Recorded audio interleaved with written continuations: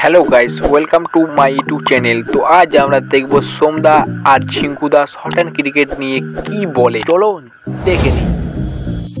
তোমার দুজনের কাছেই। শর্ট হ্যান্ড ক্রিকেট খেলে কি এই মুহূর্তে সংসার চালানো যেতে পারে? সেই লেভেলে খেললে চলে যাবে আরাম চলে যাবে। একদম। লেভেলটা সেরকম বানাতে হবে। তো ছেলেরা কি ইয়াং ছেলেরা কি শর্ট হ্যান্ড ক্রিকেটটাকে অ্যাজ এ প্রফেশন হিসেবে নিতে পারে? রিক্স আছে। দেখো তোমরা আইডল তোমাদেরকে লোকে ফলো করে। তোমাদের এই কথাটা বহু মানুষ শুনবে বহু মানুষ দেখবে। আর যা বলছো ভেবে চিন্তে বলবে প্রফেশনাল ভাবে নিয়ে যাবে না তবে যতদিন ধরে মানে যতদিন কি বলব?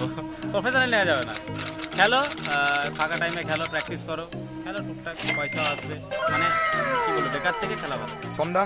বাস আমিও একই কথা বলব। প্রফেশনাল নেওয়া যাবে না। প্রফেশনালি নেওয়া যাবে না ভালো থেকে খেলা ভালো তবে পাবজি পাবজি এসব হ্যাঁ। বাদ দাও মাঠে মাঠে এসো। এসো। এটা হ্যালো বন্ধুরা তোমরা তো দেখলে যে সোমদা ঝিঙ্কুদা পল্লবদা কি বলল শর্ট ক্রিকেট নিয়ে। তো তোমার যদি ভিডিওটি ভালো থাকে তো চ্যানেল সাবস্ক্রাইব করো ভিডিওটি লাইক করো। নিচে কমেন্ট করো যে কে কে শর্ট ক্রিকেট খেলো। তো গাইজ দেখা হচ্ছে পরের ভিডিওতে